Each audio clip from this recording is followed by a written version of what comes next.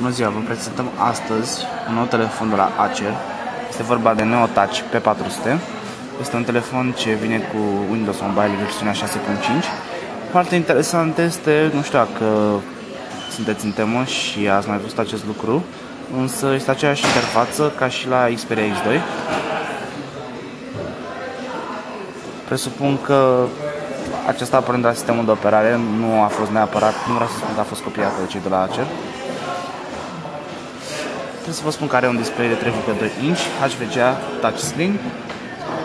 Se vede extraordinar de bine, 65.000 de culori.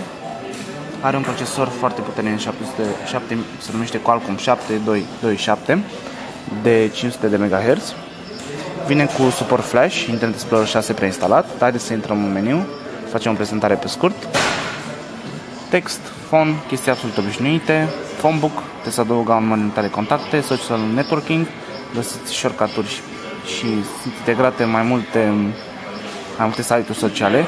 Vreau să vă anunț că este, acest telefon este în varianta de prototip, este varianta beta, să anunță că o să fie lansat în la aprilie-martie, cel mai probabil. Softul nu este foarte stabil. Shortcut-uri către Blogger, Flickr, Facebook, YouTube. Alarme, Microsoft Marketplace, de unde puteți downloada aplicații, games, bineînțeles telefoane sport și Java, MSN Messenger, multimedia, preferințe, Windows Live, MSN Weather, calculator, File Explorer, Office Mobile, aveți posibilitatea de a și edita documente Office, Adobe PDF Reader, contacte, Task Manager, puteți închide aplicațiile pe care nu le folosiți, care le în background, utilități, Memory Optimizer, Optimization,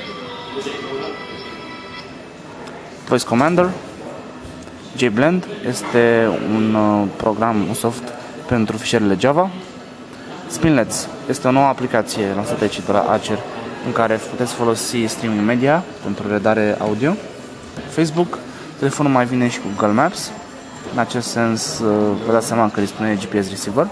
Vă se poate instala, spre exemplu, și un alt soft ce nu necesită internet, cum ar fi iGo. VoiceGo, YouTube, Acer Synchronizing, încă un sistem, încă un uh, soft de la Acer ce vă permite să sincronizați datele din telefon cu cele din calculator ca să nu aveți probleme, să nu fie pierdere de date. Google Search. În principiu, aceasta a fost prezentarea telefonului Neo Touch P400. Sperăm să primim și noi cât mai curând, ca să putem să îi facem o prezentare mai pe larg. Am putea să mai precizez de camera telefonului care este 3,2 megapixel și de difuzorul separat folosit pentru redare multimedia. Neo Touch P400.